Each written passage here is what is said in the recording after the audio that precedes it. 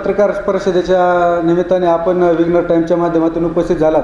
आपलं या ठिकाणी मनापासून स्वागत आहे.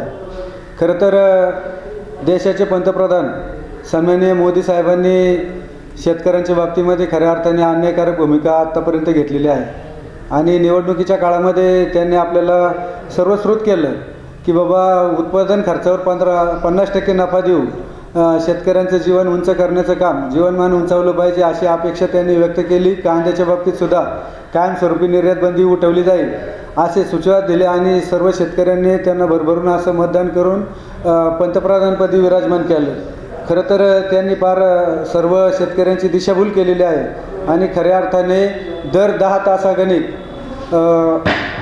एक आत्महत्या असा आवे आलेख आज तागेत या ठिकाणी घडत आहे. एकोणीसशे त्र्याऐंशी साली राज्यातील पहिली आत्महत्या सा साहेबराव तर्फे या शेतकऱ्यांनी केलेली आहे. आणि आत्महत्येचं कारण शेतामध्ये काबाड कष्ट करून आपले दोन मुलं आणि पत्नी तिघां चौघांचा सांभाळ करत असताना शेतामध्ये परवडत नाही. म्हणून स्वतःने स्वतःच्या म, पत्नीला विश्वासात घेऊन भज्याचं कालवण करून भज्याच्यामध्ये परिपूर्ण विष घालून चौघांनी सामूहिक आत्महत्या एकोणीसशे त्र्याऐंशी साली या कुटुंबाने केली. खरं तर एकोणीस मार्च आता परवा आहे. आपल्या पूर्ण संपूर्ण राज्यातील शेतकऱ्यांनी असा म- मनोदय केला पाहिजे. का सरकारच्या नाकारतेमुळे दर दहा तासाला आपल्याकडे एक आत्महत्या राज्यामध्ये घडत आहे आणि साहेबराव करपेंची पहिली आत्महत्या आहे त्यांना खऱ्या अर्थाने न्याय मिळाला पाहिजे आणि आज तागायत आपण शेतकरी संघटनेच्या माध्यमातून आपण लढत आहोत. खरं तर त्या एकोणीस मार्चला मी सर्व शेतकऱ्यांना आवाहन करेन की आपण एक दिवसीय लाक्षणिक उपोषण करून अन्नत्याग आंदोलन करून निश्चितपणाने शेतकऱ्याला न्याय मिळाला पाहिजे. या भूमिकेतून आपण सर्व शेतकऱ्यांनी एक दिवसीय लाक्षणिक उपोषण करावं अशी आग्रहाची विनंती करत आहे. पाणीपट्टी वाढवलेली आहे पाटबंधारे विभागाने. त्या सर्व तुमची भूमिका काय आहे? वीज वितरण कंपनीनं मागची थकीत बिलं भरण्याचा तागादा लावलेला आहे. जुन्नर तालुका शेतकरी संघटनेच्या वतीनं यापूर्वीच्या दहा पंधरा वर्षाचा का कालखंड जर पाहिला तर पाटबंधारे विभाग असेल किंबहुना जलसंपदा विभाग असेल. या अनुषंगाने त्यावेळेचे समजा सन्मान्य आमदार आत वल्लभशेठ बेंडके असतील बाळासाहेब दांगट असतील नंतरच्या कालखंडामध्ये आता अतुल शेठ बेंडके ही सगळी मंडळी लोकप्रतिनिधी म्हणून काम करत आहेत आणि पाण्यासाठी संघर्ष हा काही शेतकऱ्याला नवीन आहे हा शेतकऱ्याच्या पा पाचवीला पुजलेला आहे. पाणी प्रश्न हातात घेऊन शेतकरी संघटना अविरतपणे काम करत आहे. आणि पाणीपट्टी वसुलीसाठी आत्ता जशी परिस्थिती तयार झालेली आहे की पाटबंधारे विभागाने गा वाहन फिरून प्रत्येकाच्या दारोदार जाऊन पाणीपट्टी वसुलीचा जे साहस तयार केलेला आहे जे जेणेकरून पाटबंद विभागाला विभागाला याची लाज वाटली पाहिजे की बाबा देशाला अन्न पुरवठा करणारा हा शेतकरी वर्ग आहे आणि त्याच्याकडे आपण कोणत्या याच्यासाठी वसुलीला जातो? गेले दोन वर्ष कोरोनाचे गेले नंतरची नैसर्गिक आपत्ती ह्या सगळ्या गोष्टीचा परामर्श पाहता शेतकऱ्याच्या पत्रामध्ये एकही रुपयाचा फायदा झालेला नाही. तोट्याचं शेती करून सुद्धा शेतकरी आज ताटमानेने परत जगाचा अन्नदाता म्हणून पोशिंदा म्हणून आज परत उभा आहे. आणि त्याच्यावर खऱ्या अर्थाने ही स सगळी मंडळी. त्याच्यामध्ये महावितरण कंपनी असेल तुमचं पाटबंधारे विभाग असेल महसूल यंत्रणा असेल ही सगळी मंडळी त्याच्यावर आता मार्चंट असला त्यांची वसुली असणं स्वाभाविक आहे त्यांनी. परंतु अशा परिस्थितीमध्ये शेतकऱ्यांच्या दारोदार जाऊन त्याची मनोधैर्य खचवणं. काल तुम्हाला एक उदाहरण म्हणून सांगतो. धुळे जिल्ह्यामधली मी सकाळीच एक बातमी ऐकली. वीज कनेक्शन तोडल्यामुळे धु- शेत धुळे जिल्ह्यातल्या एका शेतकऱ्यांनी कालच आत्महत्या केलेली आहे. म्हणजे अशी वारंवार घटना जर आपल्याला सामोरं जायला लागत असेल तर ती निश्चितपणे शेतकऱ्याच्या निंदनीय गोष्ट आहे. शेतकऱ्याच्या दृष्टीने त्यामुळे मी शेतकरी वर्गाला संपूर्ण आवाहन करतो की एकही शेतकऱ्यांनी कोणत्याही स्वरूपाची पाणीपट्टी भरू नये. शिवाय वितर महावितरण कंपनीने यापूर्वीच्या काळात आपण शेतकरी संघटनेच्या माध्यमातून मान्य रघुनाथदादा पाटील शिवाजीराव नानखिले यांच्या बरोबर काम करत असताना कायदेशीर लढा आपला अविरत चालू आहे. अन्न सुरक्षा आयोगाने सुद्धा मान्य केलेले आहे की शेतकऱ्याला कोणत्याही परिस्थितीत शेतकऱ्याचे वीज कनेक्शन तोडू नये. अशी सगळी परिस्थिती असताना सुद्धा महावितरण कंपनी मुजरपणे जर शेतकऱ्याचं कनेक्शन तोडत असेल उलट आपण आता सर्व शेतकऱ्यांना सर्वश्रुत केलेलं आहे की कोणत्याही शेतकऱ्याने एकही रुपया वीज बिलसुद्धा भरू नये. जेणेकरून जोपर्यंत आपला न्यायालयीन लढा पूर्ण होत नाही तोपर्यंत एकाही शेतकऱ्याने एकही रुपया भरू नये. त्याच पद्धतीने शेतकरी आपल्या मुद्द्यावर ठाम आहे. तरीसुद्धा महावितरण कंपनी जर मुजरपणे के कारवाई करीत असेल तर निश्चितपणे त्यांना धडा शिकवल्याशिवाय राहणार नाही. भूमी अभिलेख कार्यालयामध्ये शेतकऱ्यांना हेलपाटे मारावे लागतात. वेळेवर मोजणी होत नाही. प्रसंगी शेतकऱ्याकडे पैसे मागितले जातात अशी शेतकरी संघटनेची तक्रार आहे. हा आता आत्ताच आपल्या सहकाऱ्यांनी या ठिकाणी खांडगे पाटलांनी या ठिकाणी त्यांची खंत व्यक्त केली. की भूमी अभिलेख व- कार्यालयामध्ये शेतकऱ्यांची प्रचंड प्रमाणात फसवणूक होते आणि पैशाची मागणी होते. हा मुद्दा बरोबर आहे. समक्ष जरी त्यांच्याकडे काही पुरावा नसला तरी पण प्रत्यक्षरित्या काही शेतकरी येत आहेत बाबा भूमी अभिलेख कार्यालयामध्ये मोजणीसाठी येणाऱ्या कर्मचारी असेल अधिकारी असेल आवाजवी पैशाची मागणी करतायत. जर एखाद्या दोन माणसाचा तंटा असेल आणि त्या तंटा कामी मोजणीची जर गरज असेल आणि मोजणी लवकरात ल- लवकर यावी अशी विनंती त्या अधिकाऱ्याला केली की ते दोन पाच हजार रुपयाची मागणी करतायत. खरोखर ही निंदेची बाब आहे. जर तंटा जर होत असेल त्यासाठी भूमी अभिलेख कार्यालयाने स्वतःहून काळजी काळजीवाहूपणाने आपण भूमिका घेऊन त्या ठिकाणी शेतकऱ्याला न्याय देण्याचं काम केलेलं केलं पाहिजे. ही सगळी शेतकऱ्यांचीच मुलं आहेत. तहसील असेल महसूल असेल वितरण असेल पाटबंधारा असेल.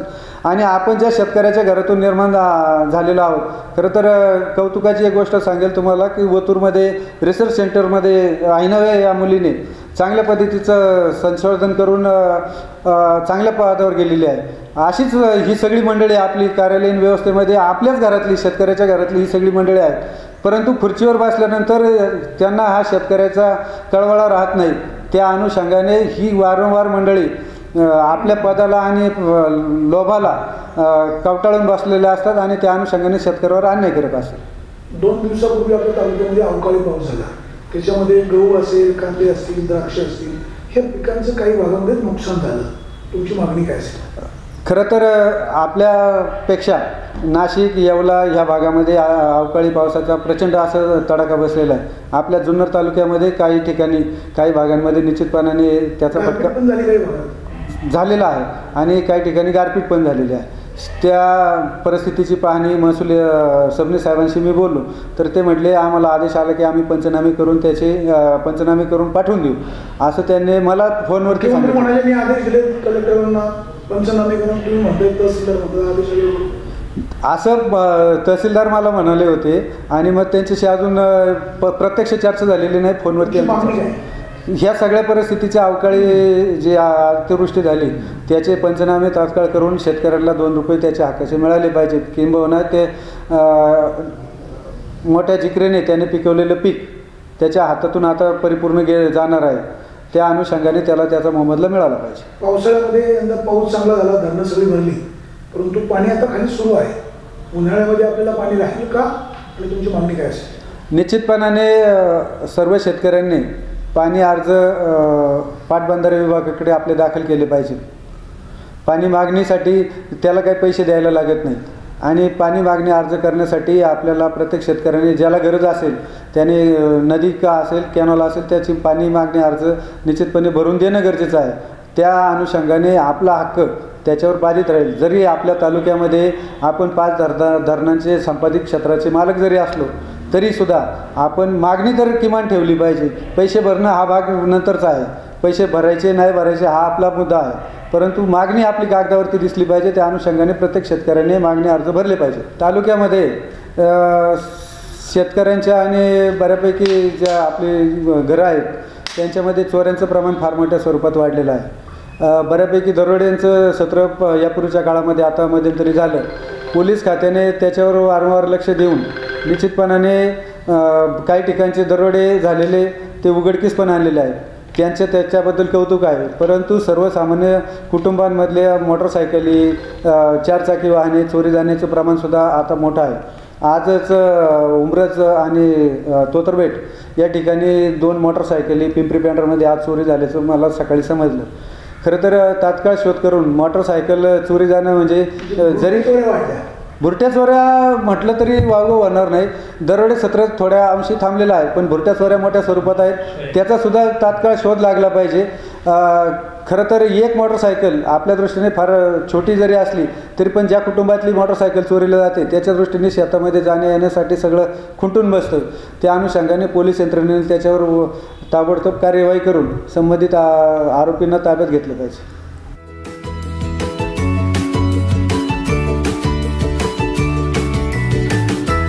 बातम्या शेतीच्या. बातम्या मातीच्या. बातम्या अन्यायाच्या. गुन्हेगारीच्या.